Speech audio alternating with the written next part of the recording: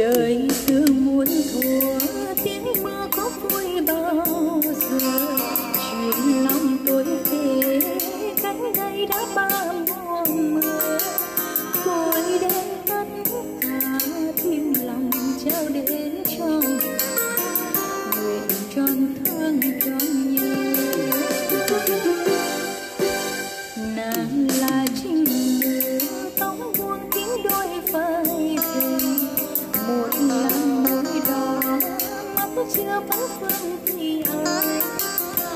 so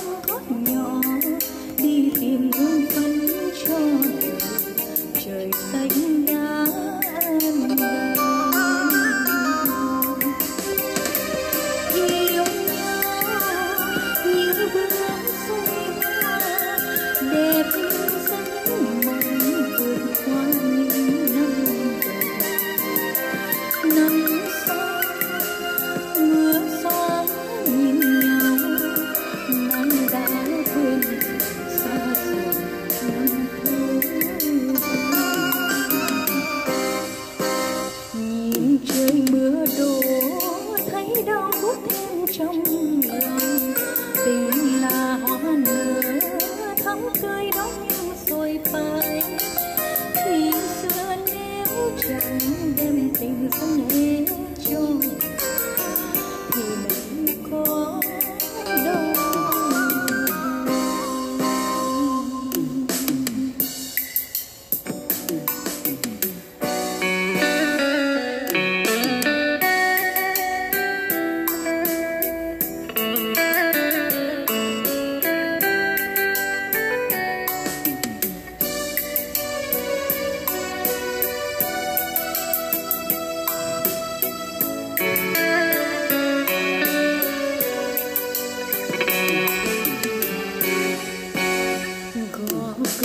nói tiếng và em đường dù